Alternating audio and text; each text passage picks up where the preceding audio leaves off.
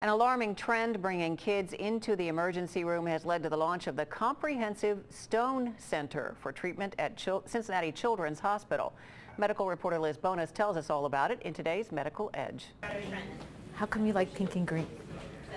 Um, green is in, in the rainbow and pink. When you talk with Autumn, who is now eight, she tells you it's been a tough year.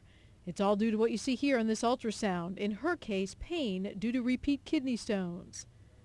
It's like you're hungry, but then it starts to get into belly pain. She's not the only one. Here, in just the last year, more than 625 kids were seen with kidney stones. And that's close to double of what we saw five years ago and triple what we saw 10 years ago. For Autumn's mom, Christina, who asked us not to use her last name, it is tough to watch. You feel helpless. You can't do anything to help her pain. What they've also discovered about this epidemic, as it's being called, is that kidney stones tend to reoccur. And it takes a treatment team to cure it.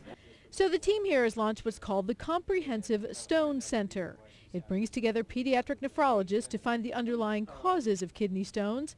Usually it's the accumulation of calcium that can't pass through the kidneys due to not enough exercise, not enough water, and too much salt.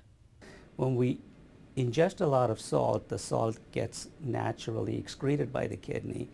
But while the sodium goes through the kidney, it also drags with it other substances like calcium.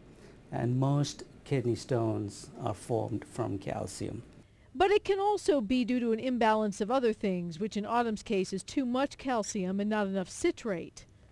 Which is normally required for crystals, to, to prevent crystals from sticking with each other and getting bigger and forming stones. Autumn's now had stents to enhance kidney flow and a procedure to shatter stones. She now takes medicine which she says does not taste very good. A little bit. it's that awful.